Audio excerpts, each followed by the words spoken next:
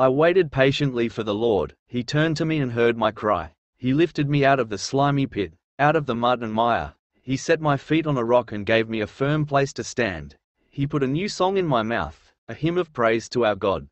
Many will see and fear the Lord and put their trust in him. Blessed is the one who trusts in the Lord, who does not look to the proud, to those who turn aside to false gods. Many, Lord my God, are the wonders you have done, the things you plan for us. None can compare with you. Were I to speak and tell of your deeds, they would be too many to declare. Sacrifice and offering you did not desire, but my ears you have opened burnt offerings and sin offerings you did not require.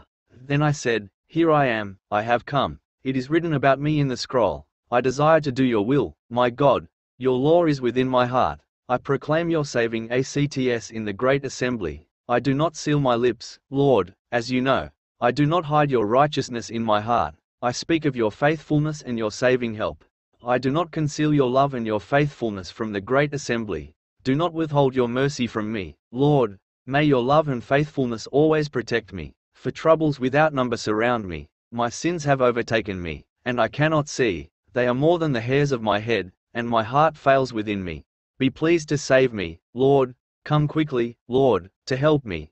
May all who want to take my life be put to shame and confusion. May all who desire my ruin be turned back in disgrace. May those who say to me, Aha! Aha!